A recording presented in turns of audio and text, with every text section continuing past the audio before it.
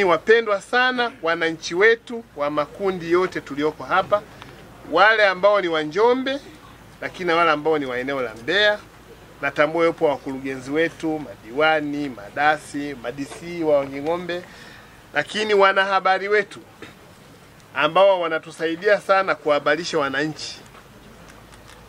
Ndugu zangu, tumekaa kwenye kikao chini ya mwenyekiti wa Comrade Homera tumekubaliana yafuatayo na wataalamu wetu.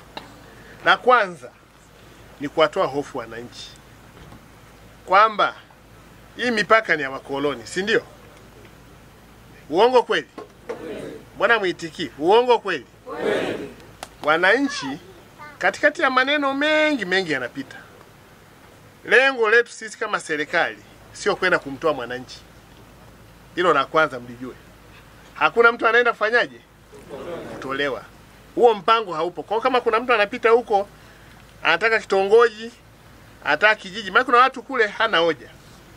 Baada ya kugombea akasema kwamba nimejenga madarasa yamepatikana, kuna zahanati, kuna maji, yeye anapita anasema mimi nikishinda amuami.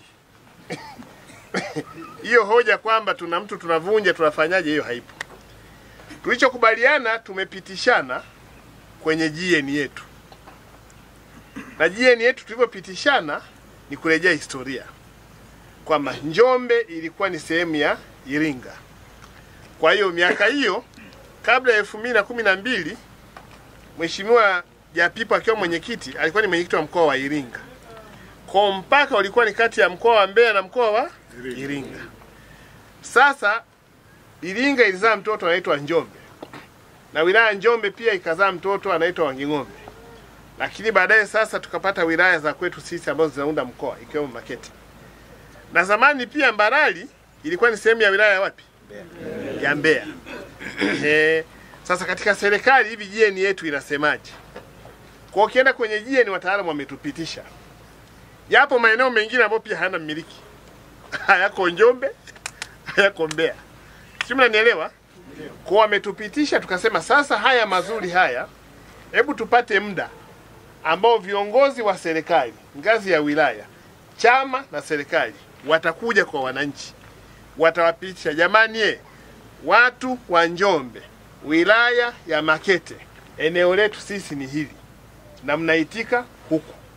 Watu wa Mbeya, wilaya ya Mbalali, eneo letu sisi ni hili na mnaitika huku. Watu wa Wanging'ombe, mkoa wa Njombe, eneo lenu ni hili mipaka halisi ni hii, mnaitika huku. Ndio kazi ambayo wenzetu watakuja kuifanya, lakini kikubwa kama serikali, hebu wananchi mjiondoe kwenye hofu, wala sio jambo la watu kufanya kampeni kwamba kuna hiki. Hapana, kwa sababu sisi wenyewe kuja kuelekezana tu kwenye GN ya msingi, kwa sababu GN inayotambua maeneo ya mikoa na wilaya haijadiliwi na sisi wilaya na mkoa, maanake ilipimwa, iko kwenye vitabu vya serikali. Kwa ni kuja tu kuelezea tu kwamba kwani kuna mahala hapa, je, mpaka ni barabara sio barabara? Sema hapa mpaka sio barabara, mpaka ni mto. Mto ni upi? Ni huu. Kwa hawa huku wanaitika wapi? Wanaitika Njombe. Wa huku wanaitika wapi? Wanaitika Mbalali. Wao wakienda kwenye uchaguzi wanachagua wapi? Wanachagua mwenyekiti wao kitongoji. Lakini wao wanaweza kuwa na huduma zao za jirani, sema sisi huduma yetu haija tunapata hapa. Lakini kwenye kuunda serikali yetu ya kitongoji na kijiji, sisi ni watu wa eneo fulani, kwa sababu sisi tunapakana na Zambia lakini pale mpakani upande wa Tanzania sisi tuna huduma nyingi za kijamii kuliko upande wa wenzetu. Kwa hiyo sisi ni majirani wazuri, hatugombani kwa ajili ya kwamba duka gili sukari imepanda Tanzania, mtu anavuka ananunua pa- upande wa Zambia. Ukienda pale mpakani, mafuta huku ni bei ghali, kwa hiyo anavuka mtu wa Zambia anakuja huku na dumu la lita tano ananunua, anavuka aenda kuuza kwao. Hatuwezi kugombea mambo ya aina hiyo, lakini kikubwa sisi kama serikali ni kwamba jiondoeni kwenye hofu. Hakuna mtu anayevunjiwa, hakuna mtu anayeondolewa ni kuja kuthibitisha tu maeneo, kwani wananchi wetu sisi wanaitika wapi kiserikali, na kama wanaingia kwenye chaguzi wanamchagua nani. Kama mwananchi anataka kugombea, tunamwambia jaza fomu yako wapi. E, ni baadhi ya nafasi, kwa sababu pia kuna watu ni wabunge, kuna watu ni madiwani, lakini sio maeneo yao ya makazi. E, kwa hiyo vitu vyote hivyo visitugombanishe. Kwa tumesema tuje hapa kuwatoa kwenye hofu.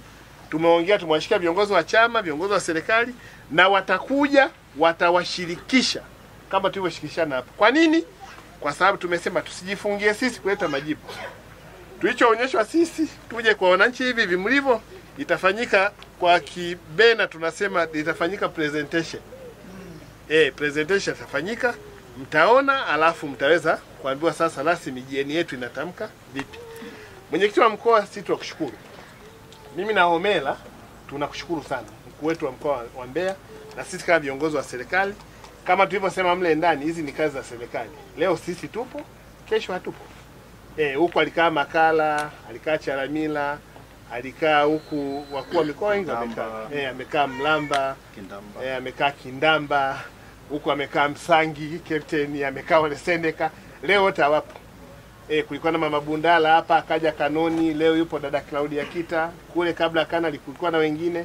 Kwa hiyo tunachoangalia sisi tunaangalia maslahi makubwa tu ya wananchi, kwa sababu mimi na Omela hapa kama viongozi wa serikali ni watu wa kupita. Kwa hiyo sisi tu, tu, tuombe tu wananchi wakae kwenye utulivu kama tulivyoomba. La, la mwisho labda tu kwa faida yao ni kwamba wakuu wa wilaya watakuwa na kazi maalum kwenye wiki tunayoiendea. Kwa hiyo siku ngapi hizi hawatakuwepo, lakini tumekubaliana watakapokuwa wamerejea, maana yake ni kwamba watakuja kwa ajili kufanyia kazi hilo. Yale ambayo itahitaji sasa mkoa tuje kwenye kupokea, maana yake ni kwamba tutakuja hivi hivi. Sasa hiyo siku Comrade Omera atakuja na viongozi wake wa chama wa mkoa na sisi kupokea kwamba tuipenda kwenye wananchi haya, tumekubaliana, tumepitishana haya, na huu ndio msingi na mtazamo na msimamo wa serikali. Mmoja anaishi pale alipo. Tunaanza kuja tu kusema tu kwamba huyo anatakiwa sasa, unataka kugombea, unaenda wapi? Serikali za mitaa zinakuja, lazima tujue kwamba wewe unaitika wapi na wewe unaitika wapi, lakini hakuna tatizo lolote.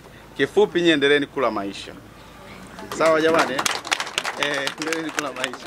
Asanteni sana.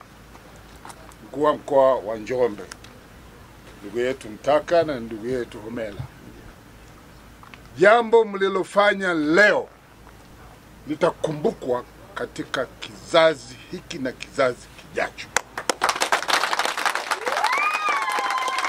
kwa sababu mumekuja kutekeleza maelekezo ya mwenyekiti wetu na rais wetu Dr. Samia Suluhu Hassan ambaye amewaagiza nyinyi kama serikali muje muwasikilize wananchi, kuna tatizo gani? Sasa leo mmekuja mmejadili hayo mlioyajadili, sasa Mtaka atatoa maelekezo, na sisi chama tulikuwa tunasikiliza pale, tumeona mmekwenda vizuri. Mungu awabariki sana kwa maelekezo ambayo tumejadili kwa pamoja na kamati za ulinzi na usalama ngazi zote mbili, Njombe na Ah, ah, Njombe na Mbeya. Eh, lakini nyinyi ndugu zangu hapa, unajua wakati naingia hapa nikaa naangalia hiki ni chuo, hii ni nini? Eh? Madarasa. ndio Nani ameleta hii rais? Nani? Nani? Pigia makofi rais wetu kwa namna ambavyo amenini. Maana madarasa haya yanapendeza jamani, uongo kweli? Unafikiri zamani ilikuwa Ah, hata si tulivyosema kulikuwa na madarasa ya namna hii. Kwa hiyo tumpongeze rais wetu kwa kazi kubwa anayoifanya, lakini wakati tunampongeza, wapo madiwani wako wapi? Njoni hapa nyinyi madiwani, njoni hapa madiwani wa kata hizi mbili, maana hawa ndio wanapokea maelekezo kutoka wapi? Kwenu nyinyi wananchi, si ndio? Na hawa wakishapokea maelekezo, diwani mwingine yuko hapa, huyu hapa. Wakishapokea maelekezo haya wanawampelekea nani? Ah, hawa wafiki kwa Samia jamani, wanampelekea nani? Kwa hiyo wabunge ndio wanaompelekea nani? Mama Samia amemwaga mabii na mabii na mabii yako hapa. Mama Samia oye! Nani kama mama Samia? Na sisi kwenye chama chetu cha Mapinduzi kupitia halmashauri kuu tumesema haki ya Mungu kwa namna anavyowapenda Watanzania. Tumesema elfu mbili na ishirini na tano hatuna mgombea mwingine, ni Rais Samia Suluhu Hassan.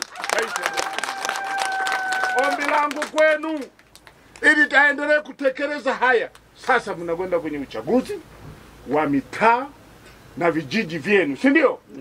Ombi langu chonde, mkachague viongozi wanaokubalika na nani na wananchi. lakini watokane na CCM. CCM oye! Ili mambo haya yaendelee kutekelezeka vizuri, si ndio? Na mwakani 2025 mwageni kula lukuki.